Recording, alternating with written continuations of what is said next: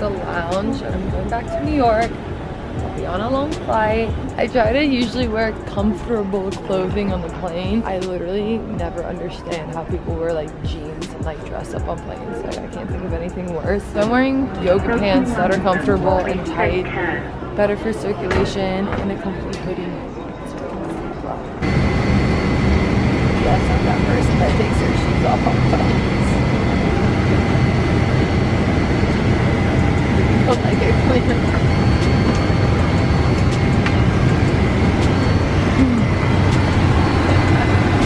You cozy?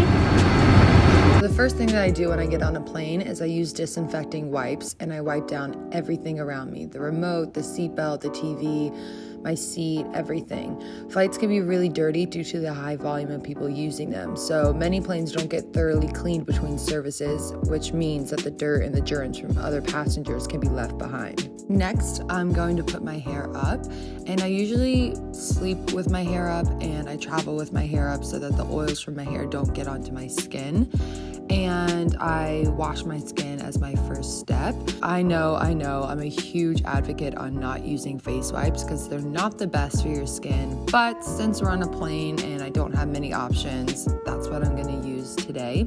After cleansing, I'm going to follow by using Chanel's Hydra Beauty Essence Mist, which is a hydration, protection, radiance, energizing mist. Next, I'm going to eat two gummies from Hum Glow Sweet Glow, which are full of hyaluronic acid and vitamin C, which locks moisture into your skin and boosts hydration. And it also keeps the skin plump, glowing, and it stimulates collagen production. Next, I'm going to use one pump of the Christine Chin Cell Gold Toner, and it's really good for refreshing, energizing, and smoothing the skin, and it's great for the next step of your skincare process. These are supplements from a brand called Holidermie, which is a French brand that I'm currently obsessing over. And I did a customized profile where I typed in my needs for my overall health and skincare, and I included my travels and how hydration is very important for me. So, this pack of supplements is full of omega 3s, vitamin C and E, and collagen, which is great for hydrating, especially during a flight. Now, I'm the biggest fan of eye creams, and there's a lot of great ones out there on the market from different brands. But since I'm flying and hydration is the biggest factor today, I'm going to be using SK-II's RNA Power Eye Cream, which is really good for moisturizing, increasing suppleness, and also reducing the appearance of fine line because of dryness. Okay, so this is a major hydration boost, and this is going to save my skin for this flight. I'm going to mix the Holidermie Hydration Concentrate with a few drops of 111 Skin's Cryo ATP Booster. And this is amazing because ATP is a natural cellular energy and it encourages oxygen to your overall cell function of your skin which will leave your skin tightened, toned, and it will refine your overall complexion. And it basically just really helps your skin become more fresh and hydrated. I also always like traveling with hand cream, and it's really good on flights because your nails and your cuticles can become very dry and break easily. I'm also going to use Cowshed's cuticle oil because I get the worst cuticles, and when I travel, they only get worse. So, this really helps again with just keeping the nails hydrated. Now, most importantly, lip care. I'm going to use Chanel's Hydra Beauty Lip Balm to make sure that my lips are moisturized so when I land, I don't have dry, cracked lips.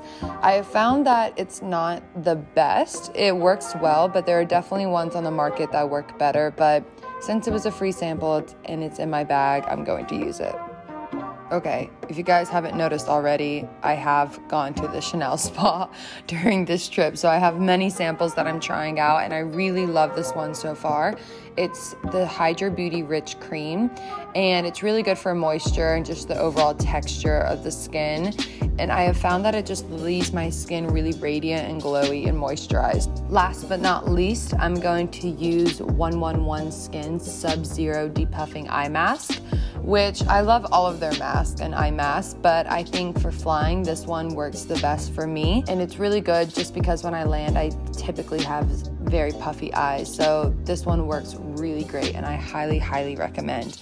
Also, if you are at home and using it, I strongly advise putting it in the fridge because I think it just speeds up the process with cooling the eyes down and really helping with puffiness. And voila, my skin is cleansed and moisturized to the utmost and definitely prepared for this long flight.